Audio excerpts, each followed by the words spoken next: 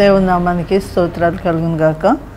ప్రభునందు ప్రియమైనటువంటి బిడ్డలకు ప్రేమతో ఆహ్వానం.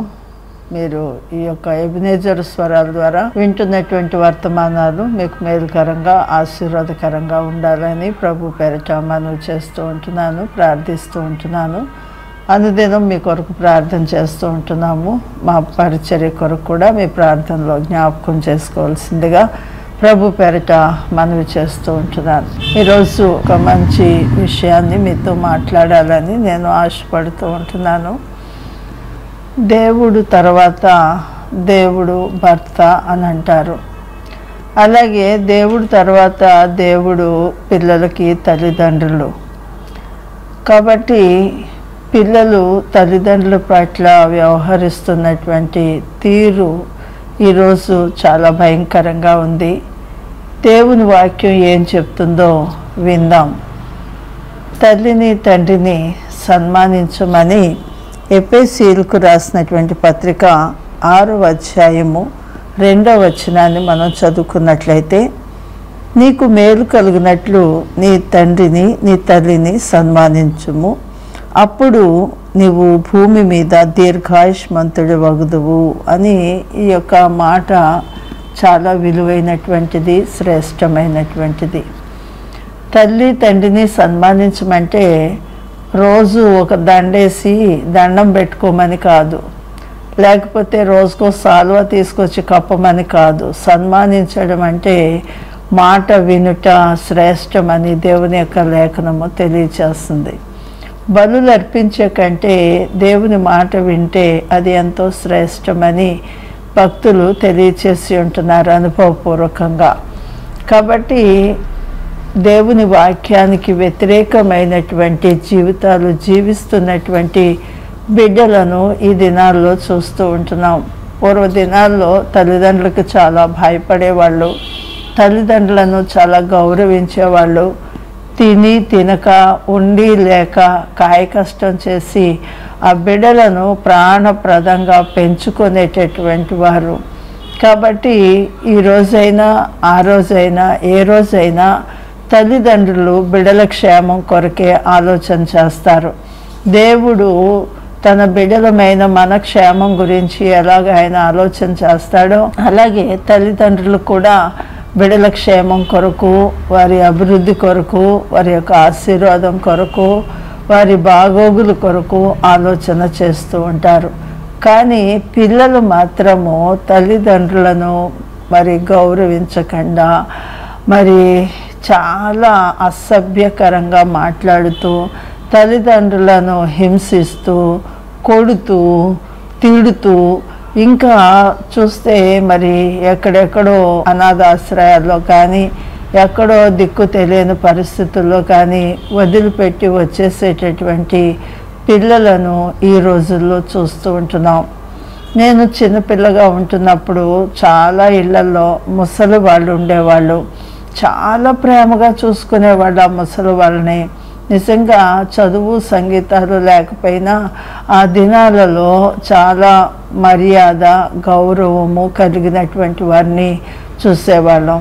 ఈరోజు చదువులు ఎక్కువయ్యాయి సంస్కారం తక్కువయింది.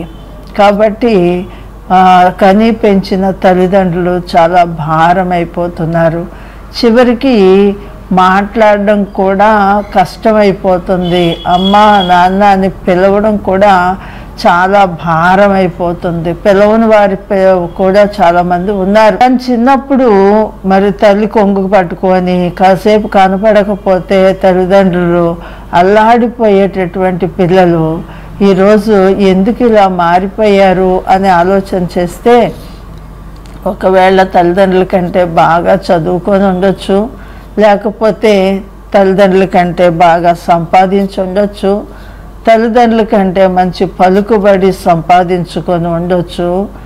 ఏది ఏమైనప్పటికీ కూడా తల్లిదండ్రుల కంటే ఎక్కువ జ్ఞానం మాకు ఉంది అని అనుకుంటున్నారో ఏమో తెలియదు కానీ ఇక్కడ దేవుని యొక్క వాక్యాన్ని మనం జ్ఞాపకం చేసుకున్నట్లయితే నిర్గమకాండము ఇరవై ఒకటవ అధ్యాయము పదిహేడవ వచనం చూస్తే తండ్రినైనను తల్లినైనను శపించువాడు మరణ శిక్ష పొందవలెను అని దేవుని యొక్క ధర్మశాస్త్రము తెలియచేస్తూ ఉంటుంది. ఇక్కడ తల్లిదండ్రులు శపించే వాళ్ళు కూడా ఉన్నారన్నమాట. ఎట్టి పరిస్థితుల్లో కూడా బిడ్డలు చచ్చిపోవాలి అని ఏ తల్లిదండ్రులు కోరుకోరు. కానీ ఈరోజు మనం చూస్తున్నాము వృద్ధాప్యంలో ఉన్నటువంటి తల్లిదండ్రులు చచ్చిపోతే బాగుండు అని చూ- ఎదురు చూసే పిల్లలు చాలామంది ఎవరిని అడిగినా ఏ ఇంట్లో చూసినా ఇదే సమస్య నేను గమనిస్తూ వస్తున్నాను. ఏ ఇంట్లోనైనా పిల్లలు తల్లిదండ్రులు పలకరించకుండా లేచారా లేదా తిన్నారా లేదా ఎలా ఉన్నారు అనే ఒక మాట మాట్లాడలేనటువంటి బిడ్డలుగా ఉంటున్నారు. అలాంటి బిడ్డలు గురించి పెద్దలు చెప్తారు కదా తల్లిదండ్రుల మీద దయలేని పుత్రుడు పుట్టినా వాడు గిట్టినా ఏం ప్రయోజనము? ఉన్నా లేనట్టే కదా అని పెద్దలు చెప్తూ ఉంటారు. అదే రీతిగా లేవియా కాండంలో కూడా చక్కటి మాటను మనం చూస్తూ ఉంటున్నాం. పంతొమ్మిదవ అధ్యాయం మూడవ వచనంలో చూస్తే మీలో ప్రతి వాడు తన తల్లికి తన తండ్రికి భయపడవలను అనేటటువంటి విషయాన్ని తెలియజేస్తూ ఉంటున్నాడు. దేవునికి ఎలా భయపడతారో అలాగే తల్లిదండ్రులకు కూడా భయపడాలి అని దేవుని వాక్యము తెలియచేస్తూ ఉంటుంది. ఇంకా చెప్పాలంటే ఈరోజు దేవుడు అంటేనే భయం లేనటువంటి ప్రజలు చాలామంది ఉన్నారండి. దేవుని నమ్ముకున్న వాళ్ళకే దేవుని భయం లేకుండా ప్రవర్తిస్తున్నారు. అంటే ఇక దేవుని నమ్ముకోలేని వాళ్ళ పరిస్థితి ఏంటో ఆలోచించండి. ఇక్కడ తల్లిదండ్రులకు భయపడాలి అంటే ముందు దేవునికి భయపడేటటువంటి వ్యక్తులై ఉండాలా? దేవునికి భయపడేవాళ్ళు దేవుని వాక్యం చదివేవాళ్ళు దేవునితో సహవాసం చేసేవాళ్ళు మారు మనసు పొంది నిజంగా రక్షణ పొందినటువంటి వారు వారిలో ఇలాంటి లక్షణాలు కనబడవని ప్రభు పేరిట నేను మనవి చేస్తూ ఉంటున్నాను. ఈ రోజు వరకు కూడా నా తల్లితో నేను గొడవ పడినటువంటి సన్నివేశం నాకు లేదు. నాకు ఏదైనా కావాలని అడిగినటువంటి పరిస్థితి కూడా నాకు తెలియదు నా అత్తగారితో కూడా నేను ఒక మాట అనిపించుకోలేదు. ఆవిడ కూడా ఒక మాట నాతో ఎప్పుడు మేము పోట్లాడుకొని మాట మాట అనుకున్న పరిస్థితులు లేవండి. ఇంకా మా ఆడబడుస్తో కానీ మా తోటికోడలతో కానీ నిజంగా మరి ప్రభు పేరిట మాకెంతో చక్కటి సన్నిహిత సంబంధాన్ని దేవుడు ఏర్పరిచాడు. ఎందుకంటే వేరు వేరు ఊరుల్లో ఉంటాము ఏదైనా ఫంక్షన్స్ అప్పుడు కలుస్తాము. చాలా సంతోషంగా ఆ, అక్క చెల్లెల కంటే ఎక్కువగా ప్రేమగా మేము మాట్లాడుకుంటూ ఉంటాం. ఎందుకంటే ఎవరు భర్త సొమ్ము వాళ్ళు తింటున్నారు. మా మధ్యలో అలాంటి భేదాలు ఎప్పుడూ కూడా రాలేదండి. ఒకళ్ళనొకళ్ళు అనుకోవడం దూషించుకోవడం ద్వేషించుకోవడం మొహాలు మార్చుకోవడం మాకు ఇంతవరకు తెలియదండి ఏది ఏమైనప్పటికీ కూడా అందరిలో కూడా దేవుని భయము ఉన్న విషయాన్ని బట్టి నేను ప్రభు పేరిట మీకు మనవి చేస్తూ ఉంటున్నాను. ఒక ప్రాంతానికి నేను స్త్రీల మీటింగ్స్ నిమిత్తం వెళ్ళి ఉంటున్నాను. అక్కడ ఒక రోజు మీటింగ్ అయిపోయిన తర్వాత సాయంత్రం ఒక ఆవిడ అమ్మ ఈరోజు మా ఇంట్లో స్నాక్స్ కోసం మీరు రావాలి అని చెప్పేసి అంది. అంటే నేను అన్నాను పాస్టర్ గారితో చెప్పండి అమ్మా అని చెప్పేసి అన్నా. సరే పాస్టర్ గారు కూడా చెప్పానండి పాస్టర్ గారే తీసుకొస్తారు మిమ్మల్ని అని చెప్పేసాను అంది సరే నేను వారి ఇంటికి స్నాక్స్ కోసం రమ్మన్నారు కదా ఎందుకు అంత దూరం నేను స్నాక్స్ కోసం వెళ్ళడం అనుకున్నాను కానీ ఆవిడ చాలా తెలివితేటలుగా స్నాక్స్ కోసం రమ్మని చెప్పి దాదాపు ఒక యాభై మందిని నా ముందు కూర్చోబెట్టిందండి. నేను ఆశ్చర్యపోయాను అమ్మ కాసేపు వాక్యం చెప్పండి అని చెప్పేసి అన్నారు. వీళ్ళందరినీ ఎక్కడ పోగేసిందబ్బా అనుకొని నేను చాలా ఆశ్చర్యపడ్డాను. సరే వాక్యం వారితో పంచుకున్న తర్వాత ప్రార్థన ముగించిన తర్వాత నేను ఆవిడని అడిగాను అమ్మ ఇంతమంది ఎక్కడ దొరికారు నీకు అని చెప్పేసాను అంటే వీళ్ళందరూ నా కుటుంబమేనండి అని చెప్పింది. అంటే ఎట్లా అనేసి అడిగాను నేను. అడిగితే మేము తొమ్మిది మంది తోటికోడలమండి మొట్టమొదట మా పెద్ద తోటికోడలు యేసుప్రభుని అంగీకరించింది. ఆవిడ్ని బట్టి మేమందరం ఒక్కొక్కరు ఒక్కొక్కరు మారిపోయాము. దేవుని బిడలం అయిపోయాము మా ఇల్లు చిన్న పరలోకంలాగా ఉంటుందండి అని చెప్పేసింది. అబ్బా ఎంత సంతోషం అండి ఎంతమంది ఇళ్ళు నరకంగా ఉన్నాయో తెలుసా అండి. ఎంతమంది యాభై మంది కుటుంబంలో ఉండరు. కానీ ఎవరికి వాళ్ళు పెళ్ళైతే చాలు ఆ భర్తను పట్టుకొని ఆ భార్యను పట్టుకొని బయటకు పోతున్నారు. అటు తల్లిదండ్రులు కానీ ఇటు తల్లిదండ్రులు కానీ ఆ తర్వాత తోడబుట్టిన వాళ్ళు కానీ ఎవరితో సంబంధం లేకుండా నిజంగా చెప్పాలంటే అడవిలో జంతువులన్నా సహజంగా ఐక్యతగా ప్రేమగా ఉంటాయేమో కానీ ఆ అడవి మృగాల కంటే నీచాతి నీచంగా ఈరోజు కల్చర్ మనం చూస్తూ ఉంటున్నాం. ఇంకా దేవుని యొక్క మాటలను మనం గమనించినట్లయితే సామెతల గ్రంథం పదే పదోధ్యాయము ఒకటో వచ్చిన చూస్తే బుద్ధి లేని కుమారుడు తల్లికి దుఃఖం పుట్టించును అని చెప్పి దేవుని వాక్యం తెలియచేస్తుంది బుద్ధి గల కుమారుడైతే తల్లిని సంతోషపెడతాడంట బుద్ధి లేని కుమారుడు తల్లికి దుఃఖం పుట్టిస్తాడంట.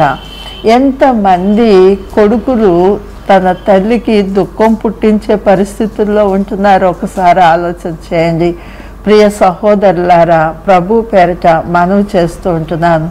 జన్మనిచ్చిన తల్లిదండ్రులు దేవుడి తర్వాత దేవుళ్ళు లాంటి వాళ్ళు.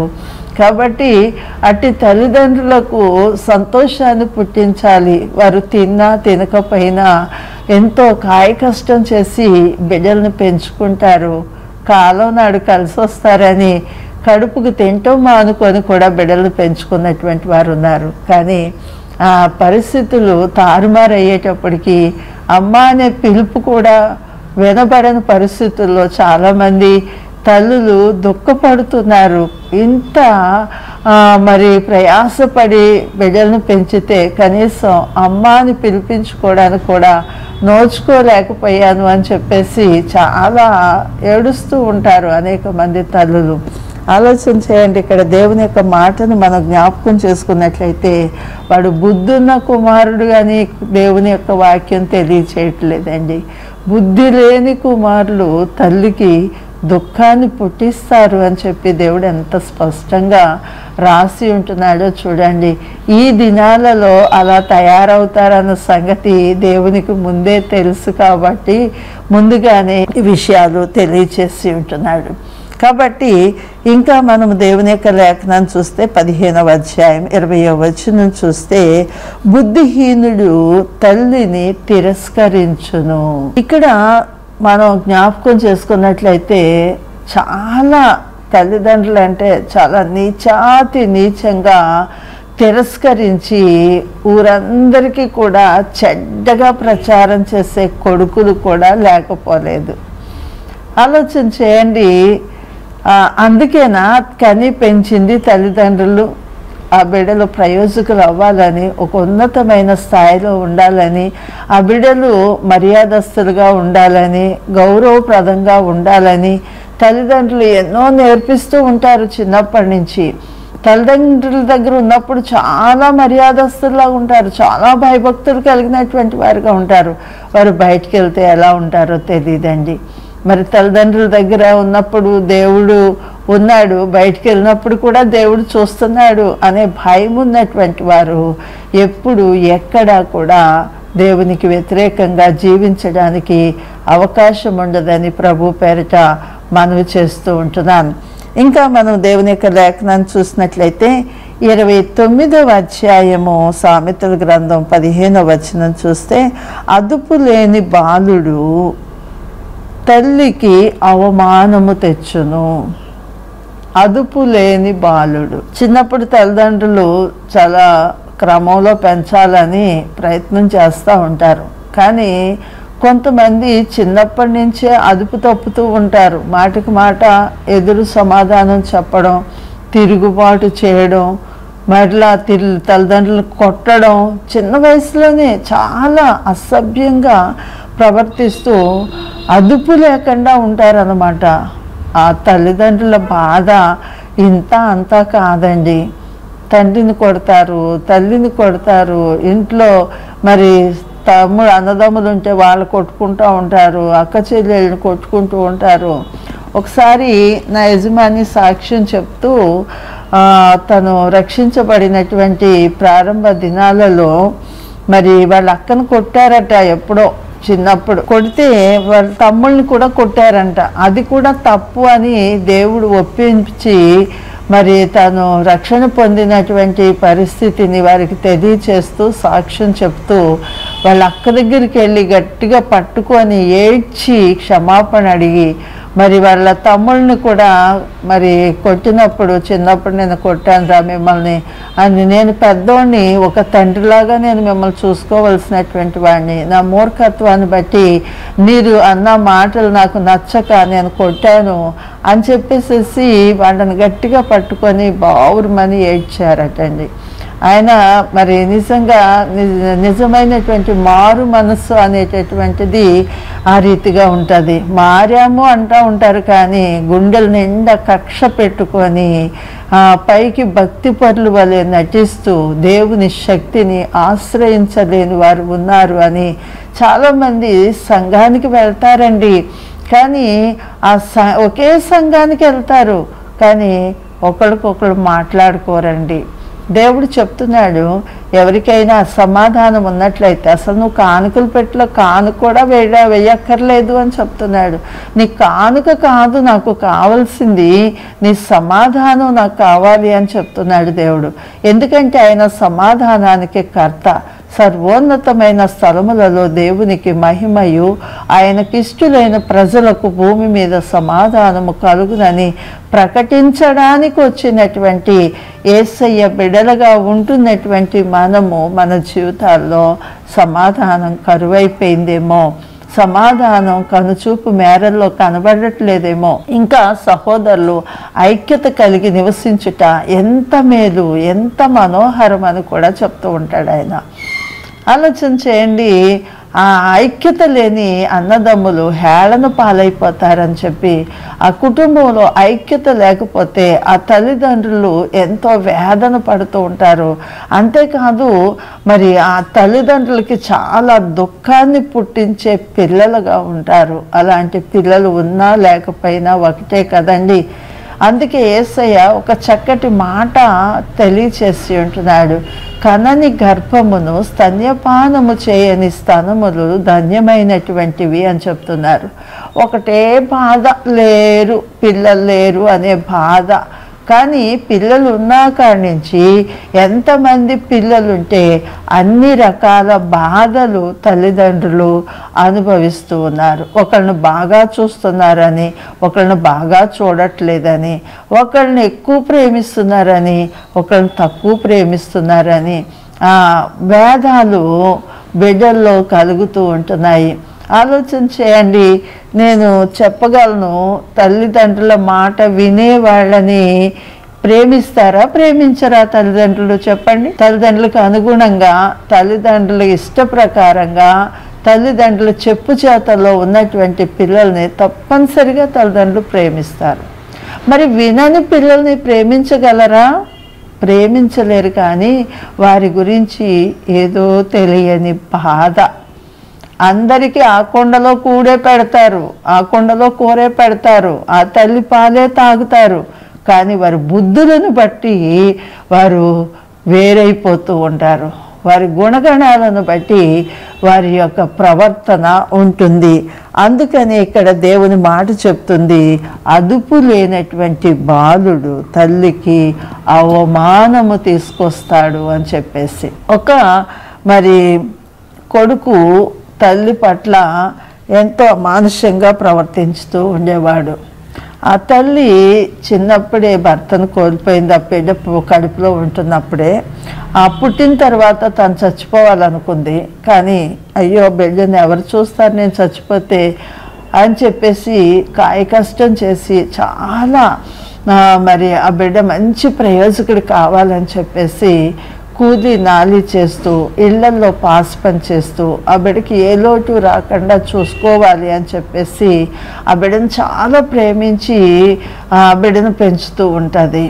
అయితే పెరిగి పెద్దవాడై దుష్ట సాంగత్యాలు చేసి మరి చెడ్డ పిల్లలతో సహవాసాలు చేసి లోకంతో ఏకమైపోయి మరి తల్లికి చాలా దుఃఖం పుట్టిస్తూ ఉన్నాడు. అయితే ఆ తల్లి చాలా ఏడుస్తుంది.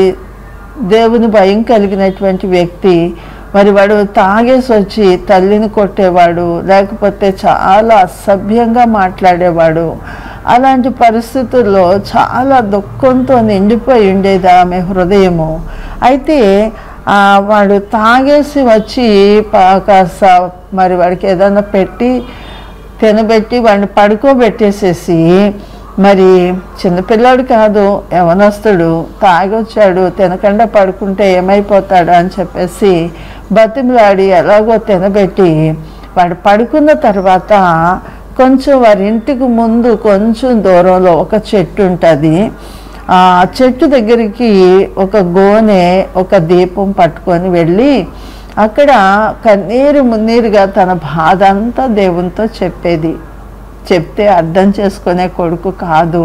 అలాంటి వాడికి చెప్పే కొద్దీ ఇంకా విపరీతంగా చేస్తాడు. కాబట్టి ఆ బాధ దేవుని దగ్గర వ్యక్తం చేస్తూ వేసయ్య పాదాలు పట్టుకొని కన్నీరు మున్నీరుగా విలపిస్తూ దుఃఖంతో వేదనతో తను అనుకున్నది ఒకటి జరిగింది మరొకటి. కాబట్టి మరి ఆ బాధ ఎవరితో చెప్పుకున్నా తీరదు. అది ఎవరు తీర్చలేని బాధ. నిజమే తల్లులారా మరి మన బిడ్డల మన పట్ల అమానుషంగా ప్రవర్తిస్తున్నప్పుడు మనం ఎవరితో చెప్పుకున్నా తీరనటువంటి బాధ ఏసైతో చెప్పుకుంటే తీర్చగలడండి ఆయన. మన సమస్త బాధల్ని మన దుఃఖాన్ని తీర్చగలిగినటువంటి దేవుడు ఆయన. మన ప్రార్థనలకు జవాబులు ఇచ్చేటటువంటి వాడు. నువ్వు నాకు మొరపెట్టు నేను నీకు ఉత్తరం ఇస్తాను అని చెప్తున్నాడు. మరి ఆయన మాట్లాడే దేవుడు మాట్లాడని రాయి కాదు చెట్టు కాదు పుట్ట కాదు. ఆయన మాట్లాడే దేవుడు సంచారము చేసే దేవుడు వినే దేవుడు చూచుచున్న దేవుడు. ఒకరోజు ఆమె మర్రకు దవా జవాబు తప్పనిసరిగా దొరుకుతుందని ఆశతో మొరపెట్టిన ఆ సన్నివేశం సమావేశ ఆ యొక్క సమయం రానే వచ్చింది. ఒకరోజు అలాగే తను వెళ్ళి ప్రార్థన చేసుకుంటుంది గోని పట్టుకొని వెళ్ళి ప్రార్థన చేసుకుంటుంటే ఈ తాగినోడు లేచాడు. లేచి ఎక్కడికి పోయిందో ఏమైందో ఏ రోజు నన్ను ఇలా పడుకోబెట్టి ఎక్కడో పాపం చేయడానికి పోతుందేమో అని చెప్పేసి ఒక కత్తి తయారు చేయించుకొని చాలా షార్ప్గా ఉండే కత్తి ఒక్క ఏటికి తల తెగిపోవాలన్నమాట. అలాంటి కత్తి చేయించుకొని వచ్చాడు. వచ్చిన తర్వాత ఒకరోజు మరలా ఆవిడ అలాగే ఆ వాడికి అన్నం పెట్టి పడుకోబెట్టి వెళ్ళి ప్రార్థన చేసుకుంటున్నటువంటి సమయంలో మరి ఆ వెళ్ళాడు. వెళ్ళి చూస్తే ఆమె మోకాళ్ళు వేసి ఆ దీపం ఆ చెట్టు దగ్గర పెట్టి కన్నీరు మున్నీరుగా తన బిడ్డ మార్పు కొరకు ప్రార్థన చేస్తుంది. ఆ బిడ్డ ఎప్పుడు మారుతాడా? ఎందుకు నన్ను ఇంత దుఃఖ పెడుతున్నాడా? నవమాసాలు మోసానే ప్రసవ వేదంతో చావు బ్రతుకులతో బిడ్డను కన్నానే నేను చచ్చిపోవాలని అనుకునే పరిస్థితుల్లో నా భర్త లేని జీవితం నాకెందుకు అనుకున్న పరిస్థితుల్లో వీడే నాకు నా ఆధారం అవుతాడు అని చెప్పేసి వీడి కోసం నేను ఎంతో కష్టపడి కాయ కష్టం చేసి పెంచుతున్నానే ఎందుకు వీడు ఇలాగ అయిపోతున్నాడు అని చెప్పేసేసి అయ్యా వాడి జీవితంలో మార్పు దయచేయి ప్రభా. వాడి అంతరంగంలో మార్పు దయచేయండి అయ్యా. ఆ త్రాగుబోతు జీవితం నుంచి విడిపించి అయ్యా అని చెప్పి ఆ బిడ్డ కొరకు మర్ర పెడుతున్నటువంటి పరిస్థితుల్లో మరి ఆ బిడ్డ ఆ ప్రార్థన విన్నాడు. తన హృదయం మెత్తబడింది. కన్నీరు కారుస్తున్నాడు. మరి ప్రార్థన అయ్యి ఆమె లేచేటప్పటికి ఆ కాళ్ళ మీద కత్తి పక్కన పడేసి కాళ్ళ మీద పడి క్షమాపణ అడిగి అమ్మా ఇంకెప్పటికీ నేను తాగనమ్మా. నువ్వు చెప్పినట్టు నేను వింటానమ్మా. నీకు ఎప్పుడు దుఃఖం పుట్టించనమ్మా. నీకు అవమానం కలిగించనమ్మా అని చెప్పేసి ఎంతో వేదంతో కన్నీళ్ళతో పశ్చాత్తాపడి మరి ఆ రోజు తన జీవితాన్ని మార్చుకొని ఉంటున్నాడు. ఇంకా చాలామంది జీవితాల్లో మార్పు లేదు. ఎంత ప్రార్థన చేస్తున్నా పరో హృదయం కఠినమైపోయినట్లుగా హృదయాలు కఠినం చేసుకుంటున్నటువంటి కుమారులు కూడా ఉన్నారు. సామెతల గ్రంథం అంతా కూడా కుమారులను గురించే వ్రాయబడుతూ ఉంటుంది. ఆలోచన చేయండి. లేవియా కాండము ఇరవయో అధ్యాయము తొమ్మిదో వచనం చూస్తే తన తండ్రినైనను తన తల్లినైనను దూషించు వానికి మరణ శిక్ష విధింపబడును అని అంటున్నాడు. అంటే వాళ్ళు బ్రతుకున్న చచ్చిపోయినట్టే. అసలు ధర్మశాస్త్ర ప్రకారము అలాగా తల్లిదండ్రులు దూషించినటువంటి వారిని రాళ్ళతో కొట్టి చంపేసేవాళ్ళండి. కానీ ఈరోజు కృపామయుడైనటువంటి యేసయ్య అలాంటి అవకాశాన్ని ఇవ్వలేదు. ఇంకా మారుతారు మారుతారని ఎదురు చూస్తున్నటువంటి సమయాన్ని మనం గమనించాలి. ఇంకా మనం చూసినట్లయితే ఎపిఎస్సీలకు రాసినటువంటి పత్రిక ఆరో అధ్యాయం మొదటి వచనం. పిల్లలారా ప్రభునందు మీ తల్లిదండ్రులకు విధేయులై ఉండుడి. ఇది ధర్మమే. ఎందుకంటే తల్లిదండ్రులకు విధేయులై ఉండమని ఎందుకు చెప్తున్నాడంటే పుట్టినప్పటి నుంచి పాలిచ్చి పెంచి ముడ్డు కడిగి మూతు కడిగి స్నానం చేయించి వాళ్ళకి ఆహారం పెట్టి వారికి మంచి చదువులు చెప్పించి వారు మంచి పొజిషన్లో ఉండాలని కొవ్వొత్తు తాను కరిగిపోతూ చివరి వరకు కూడా వెలిగిస్తున్నట్లుగా తల్లిదండ్రులు కూడా బిడల కోసం చాలా ప్రయాసపడి ఆస్తులు సమకూర్చి మరి వారి కోసం ఎన్నెన్నో త్యాగాలు చేస్తారు. కానీ మరి అవన్నీ కూడా పిల్లలు మర్చిపోతారు. ప్రభువుకి లోబడితే తల్లిదండ్రులు కూడా లోబడతారు. ఇది ధర్మమే అని దేవుని యొక్క లేఖనం తెలియచేస్తుంది. ఇంకా సామెతల గ్రంథం ముప్పై అధ్యాయం పదిహేడవ వచనం చూస్తే తండ్రిని అపహసించి తల్లి మాట విననరులని వాని కన్ను లోయ కాకులు పీకుతాయి అని చెప్తున్నాడు. ఏం చేస్తారట అండి? తండ్రిని అపహసించి తల్లి మాట విననొల్లనటువంటి వానికి వాని యొక్క కన్ను లోయ కాకులు పీకుతాయి. అంటే ఈ మాట మనం గమనించినట్లయితే చూడండి ఈరోజు చాలామంది యవ్వనస్తులు ఎక్కడ చచ్చిపోతున్నారో తెలియట్లేదండి. ఇంకా మనం చూస్తే చాలామంది యవనస్తులు అప్పులు చేసేసి ఆ జల్సాలు చేసి అప్పులు తీర్చే స్తోమత లేక ఉర్లు పెట్టుకొని చచ్చిపోయే పరిస్థితులు కూడా మనం చూస్తూ ఉంటున్నాం. మేము చిన్నపిల్లలుగా ఉంటున్నప్పుడు మాకు తల్లిదండ్రులు ఏది పెడితే అదే. ఉన్న దాంతో తృప్తి పడడం నా జీవితంలో నేను నేర్చుకున్నాను. ఎంత ఉన్నా లేనట్టే ఉంటాను. ఏమి లేకపోయినా ఉన్నట్టే ఉంటాను. కాబట్టి ఇంకా మనం దేవుని వాక్యాన్ని చూసినట్లయితే ఇరవై అధ్యాయం ఇరవై వచ్చిన సామెతల గ్రంథం చూస్తే తన తండ్రినైనను తల్లినైనను దూషించు వాని దీపము కారు చీకట్లో ఆరిపోతుంది అని చెప్తున్నాడు. చూడండి ఎంతమంది యవనస్తుల జీవితాలు ఆరిపోతున్నాయో చూడండి. ఎంత భయంకరంగా మనము ఈ దినాలు చూస్తూ ఉంటున్నాం. ఇంకా ఇరవై ఎనిమిదో అధ్యాయం ఇరవై నాలుగో వచ్చినము తన తల్లిదండ్రుల సొమ్ము దోచుకొని అది ద్రోహము కాదనుకొని వాడు నశింప చేయువానికి జతగాడు. తల్లిదండ్రులు సొమ్ము దాచుకుని అది దోచేస్తూ ఉంటారండి. వాళ్ళ తల్లిదండ్రులు మర్చిపోయినా లేకపోతే ఎక్కడ పెట్టాను ఏమైంది అంటే ఏమో తెలియదు అంట. తల్లిదండ్రుల సొమ్ము దోచేసి నిధి ద్రోహం కాదులే నా తల్లిదండ్రుల సొమ్మేలే అనుకుంటూ ఉంటారు. కానీ దేవుని దగ్గర లెక్క ఒకటి ఉందండి. ఓయ్. దానికి దేవుని దగ్గర లెక్క చెప్పవలసినటువంటి రోజు ఒకటి. ఉంది. అటువారు నశింప చేసేటటువంటి వారికి జతగాడు ఆ కుటుంబ నాశనానికి కారకులని దేవుని యొక్క లేఖనం తెలియచేస్తుంది. ముప్పై అధ్యాయము పదకొండవ వచనం చూస్తే తమ తండ్రిని శపించుచు తల్లిని దీవించని వారి తరము కలదు. తండ్రిని శపిస్తారంట. తల్లిని దీవించేవారు కాదు దూషించేవారుగా. ఇంకా ఇరవై ఎనిమిదో అధ్యాయం ఏడో వచ్చిన చూస్తే ఉపదేశమును అంగీకరించు కుమారుడు బుద్ధి గలవాడు తొంటరుల సహవాసము చేయవాడు తన తండ్రికి అపకీర్తి తెచ్చును. అందుకే పిల్లలు ఎవరితో సహవాసం చేస్తున్నారని చెప్పి తల్లిదండ్రులు చాలా జాగ్రత్తగా ఉంటారు. వారితో సహవాసం చేయొద్దురా అంటే వారు ఎక్కువగా సహవాసం చేస్తూ ఉంటారు. ఇక్కడ ఉపదేశాన్ని అంగీకరిస్తే వాడు బుద్ధి కలిగినటువంటి వాడు. అయ్యో చెడిపోయిన తర్వాత మరి భయంకరమైన శిక్షకు గురైన తర్వాత నా తల్లిదండ్రుల ఉపదేశం నేను ఎందుకు వినలేకపోయాను అని అప్పుడు ఏడ్చి ప్రయోజనము ఉండదు. తొంటరులతో సహవాసం చేసేటటువంటి వాడు తన తండ్రికి అపకీర్తి. మీ పిల్లడే పలానోడితో సహవాసం చేస్తున్నాడంటే ఆ తండ్రి హృదయం ఎంత వేదంతో అల్లాడిపోతుందో చూడండి.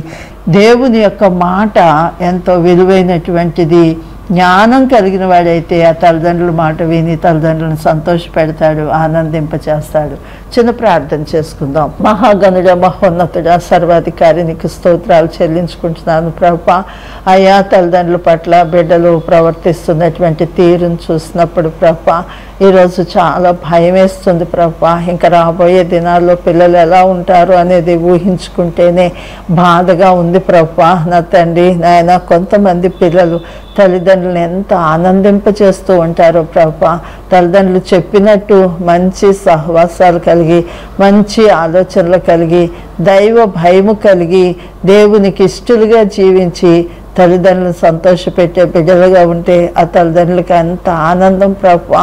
యాహాను పుట్టడం వల్ల అనేకులు సంతోషించారని అయా నీ లేఖనం తెలియచేస్తుంది కదా ప్రభా నా తండ్రి. అయా యాహాను ఒక్కడు అలాంటి కొడుకు ఒక్కడు నా తల్లిదండ్రులకి ఎంత ఆనందమో కదా ప్రభా. దేవా సహాయం చేయండి నాయన. వారు కూడా ఒకప్పుడు తల్లిదండ్రులు అవుతారు అప్పుడు వారు పడే బాధ ఇంతంతా కాదు. నేను నా తల్లిదండ్రుల పట్ల ఎంతో దుర్మార్గంగా ప్రవర్తించాను. అదే నా జీవితంలో జరిగిందని బాధపడే తల్లి బిడ్డ బాధపడేటటువంటి వ్యక్తులు కూడా ఉంటారు. ప్రభా దేవా నాయన నీకు లోపడితే నీ జ్ఞానం కలిగి ఉంటే వారి కుటుంబాలు ఎంతో చక్కగా తీర్చిదిద్దుకొని పెద్దవారైన తల్లిదండ్రులను అత్తమామలను ఎంతో గౌరవించి మర్యాదస్తులుగా మరి బుద్ధిమంతులుగా జ్ఞానవంతులుగా ఉంటే అది మీ నామానికి ఎంతో మహిమ కలుగుతుందని గ్రహించి ప్రతి ఒక్క బిడ్డ కూడా ప్రభా నాయన నీకు లోబడినట్లుగా సహాయం చేయమని ఏసైపేట బ్రతిమాలు వేడుకొంచున్నా పరమ తండ్రి. ఆమెన్.